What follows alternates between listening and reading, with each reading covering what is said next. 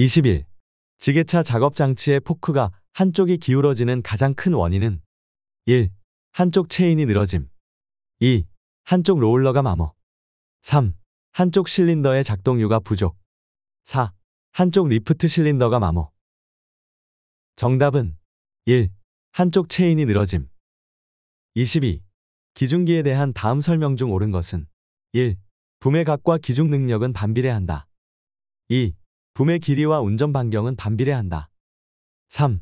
상부 회전체의 최대 회전각은 270도이다. 4.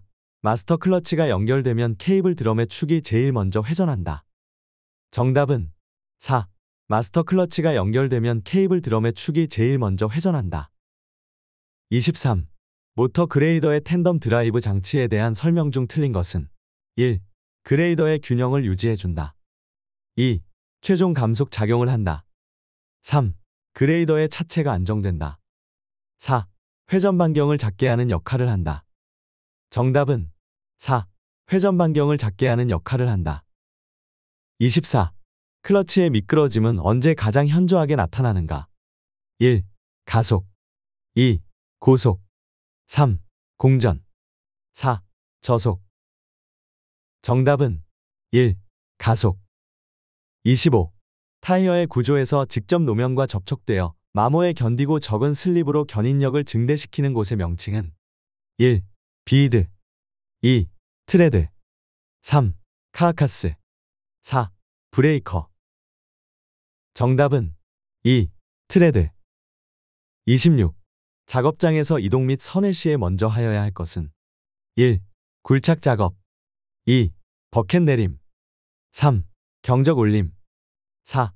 급방향 전환 정답은 3. 경적 올림 27. 건설기계 등록 신청은 누구에게 하는가? 1. 건교부 장관 2. 경찰서장 3. 시 도지사 4. 행정자치부 장관 정답은 3. 시 도지사 28. 일시정지를 하지 않고도 철길 건널목을 통과할 수 있는 경우는 1. 신호등이 진행 신호 표시일 때 2. 차단기가 올려져 있을 때 3. 경보기가 울리지 않을 때 4. 앞차가 진행하고 있을 때 정답은 1. 신호등이 진행 신호 표시일 때 29. 서행에 대한 설명으로 옳은 것은 1. 매시 15km 이내의 속도를 말한다. 2. 매시 20km 이내로 주행하는 것을 말한다. 3. 정지거리 2m 이내에서 정지할 수 있는 경우를 말한다. 4. 위험을 느끼고 즉시 정지할 수 있는 느린 속도로 운행하는 것을 말한다. 정답은 4. 위험을 느끼고 즉시 정지할 수 있는 느린 속도로 운행하는 것을 말한다. 30. 노면 표시의 중앙선에 대한 설명으로 옳은 것은 1. 백색의 실선 및 점선으로 되어 있다. 2. 황색 및 백색의 실선 및 점선으로 되어 있다. 3. 황색의 실선 및 점선으로 되어 있다. 4. 백색 및 회색의 실선 및 점선으로 되어 있다.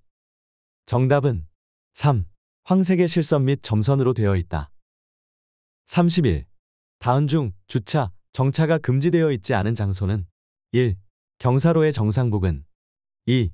건널목 3. 횡단보도 4. 교차로 정답은 1.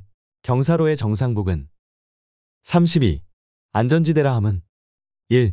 사고가 잦은 장소의 보행자의 안전을 위하여 설치한 장소 2. 버스 정류장 표지가 있는 장소 3. 도로를 횡단하는 보행자나 통행하는 차마의 안전을 위하여 안전표지 등으로 표시된 도로의 부분 4. 자동차가 주차할 수 있도록 설치된 장소 정답은 3.